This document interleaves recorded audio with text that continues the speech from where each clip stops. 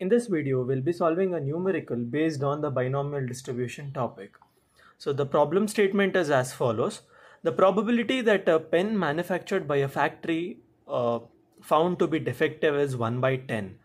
If 12 pens are manufactured, what is the probability that exactly 2 are defective, at least 2 defective, none of them are defective. So let's first consider P to be the probability of pens to be defective. That is 1 by 10 they have given. So Q would be probability of pens not defective. That is 1 minus 1 by 10 that is 9 by 10. Okay.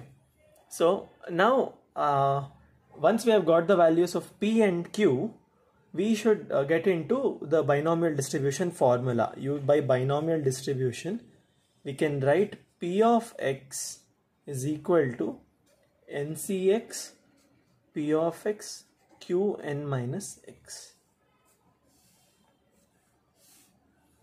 So we have we know the value of P, we know the value of Q.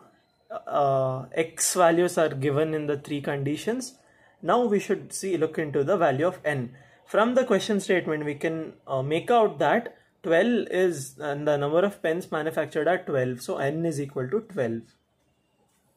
So this equation can be rewritten as p of x is equal to 12cx p of x q of n minus x. Here p and q values also let's substitute. It will become p of x is equal to 12cx p value is 1 by 10 1 by 10 to the power uh, x. And here 9 by 10 to the power uh, n minus x. N is 12 so 12 minus x. So this is so our first step for solving such numericals would be deriving an equation a general equation where you have to just change the value of x and you'll get the solution. So our first part is done. So uh, the the first part is exactly two are defective. Exactly two pens are defective. So x value is 2 so this statement will get can be rewritten as p of x is equal to 2 can be written as 12c2 1 by 10 to the power 2 and 9 by 10 to the power 12 minus 2 that is 12c2 here 1 by 10 square and here 9 by 10 to the power 10 if you solve this you'll get 0.2301 okay.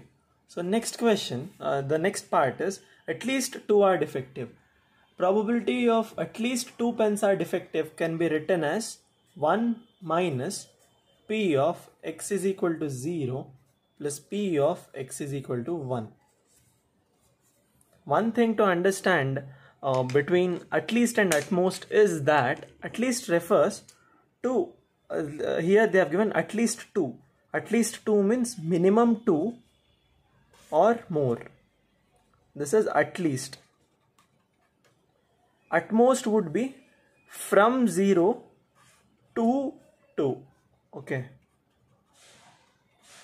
So this at least and at most uh, definition or how to solve at least and at most questions if you're clear with it uh, it's going to be a very easy uh, question or very easy to solve such questions so p of x is equal to 0 so 12c0 1 by 10 square 9 by 10 12 minus 0 plus 12c1 1 by 10 square 9 by 10 12 minus 1 so 1 minus this entire thing you'll get 0.3410 you can uh, you can type this equation in your calc and uh, you can keep on updating the values of x so it will become very easy to solve such questions. The next part is the last part is none of them are defective. So none of them are defective and the x is equal to 0 so p of x is equal to 0 says 12c 0